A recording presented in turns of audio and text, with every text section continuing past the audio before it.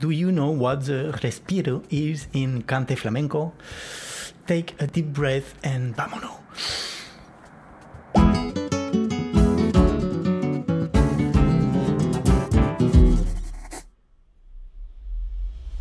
Hi, this is Guillermo Guillen for Flamenco Maps. Welcome to my channel. Whether you dance flamenco, you sing flamenco, you play guitar, you play palmas, you play cajon, or you just love flamenco and you want to understand how it works, today I'll explain to you what is the respiro in the cante flamenco. The respiro is one of the main options that the singers have when interpreting a letra.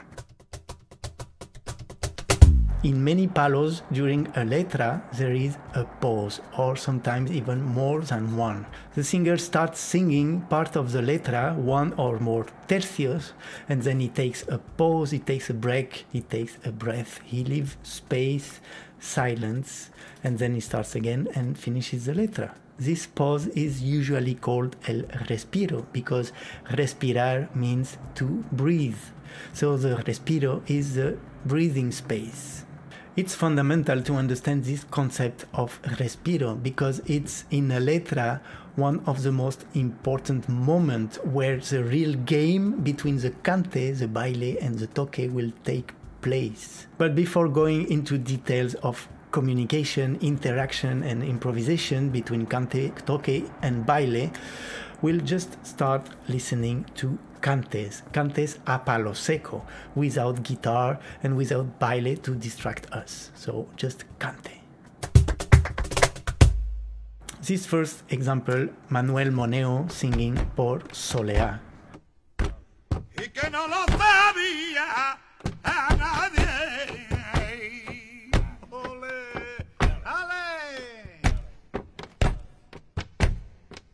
y que no lo sabía allá nadie. Allá te vendía en hay papel, él está poblado. A calle. And here we can hear Raúl Mico singing por tango.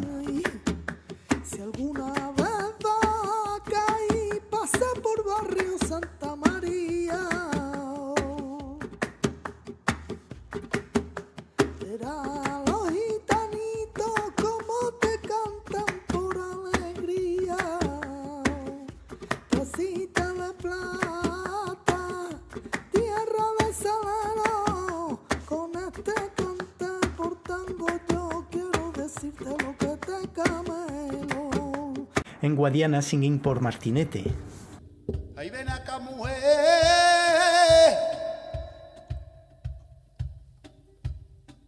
Ahí ven acá, mujer.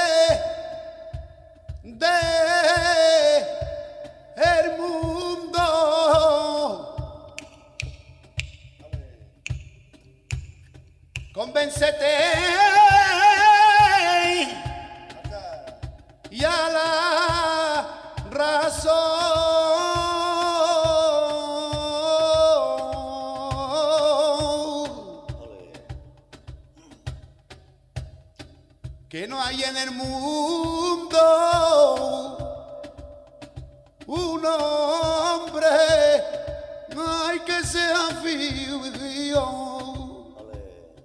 como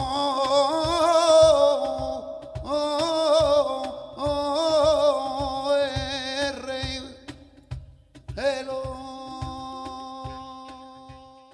And the last one, Arcángel por Bulería. Ay,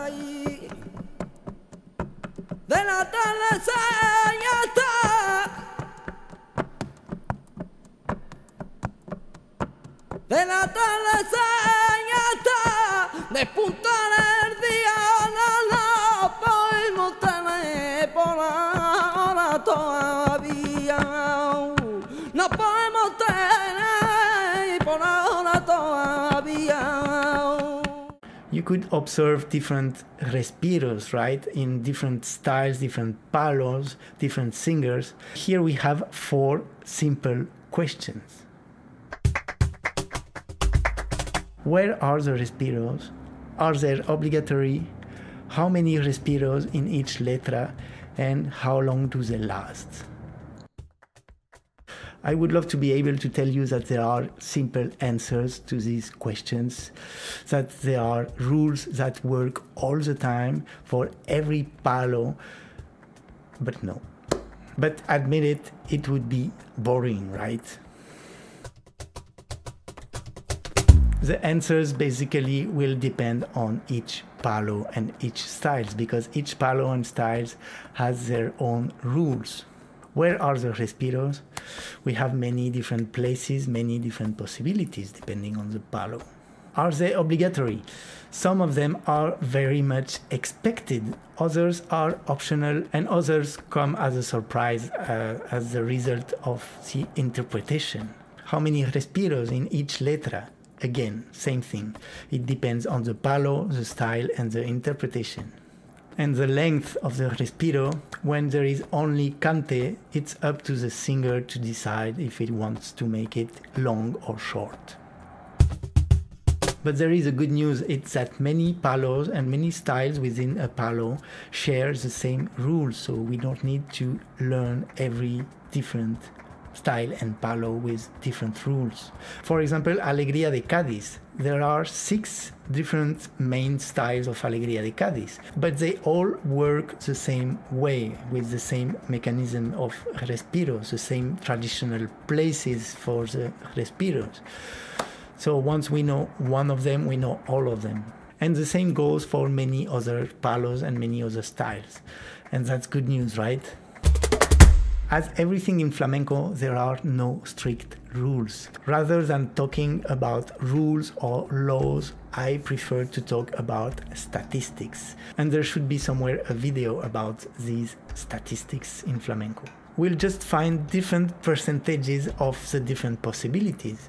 Sometimes it's just a huge percentage, like maybe 98% of the time this happens but we still have two remaining percent of other possibilities other options that somebody chose. And for me this is the most interesting and the most important thing because this is art and we want freedom. We don't want very small boxes and very narrow viewing angles right don't worry, it's just like learning a new language, okay? Little by little, step by step, with consistency. When we listen to flamenco, and when we watch flamenco, and when we are attending a, a concert or a show, first thing is that we want to enjoy, right? But also sometimes we need to do active listening and active watching.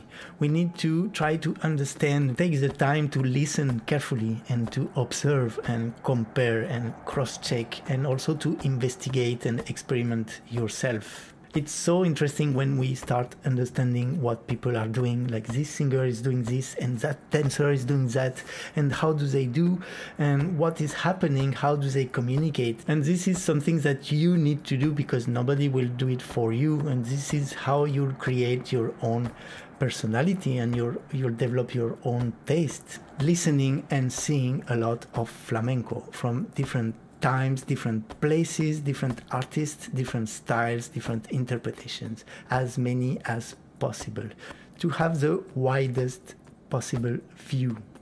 So pay close attention to this respiro because this is the key of interaction between the cante, the toque, and the baile. In this context, if the dancer or the guitarist choose to use this respiro, this space, to react, to answer, then I prefer talking about contestación rather than respiro. But we'll talk about that in the next episode.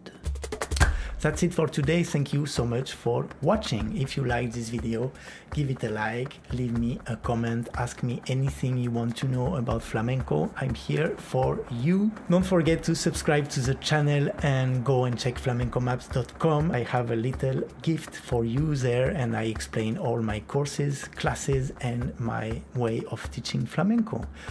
Don't forget, learn flamenco, make it fun, make it different but most important, make it yours.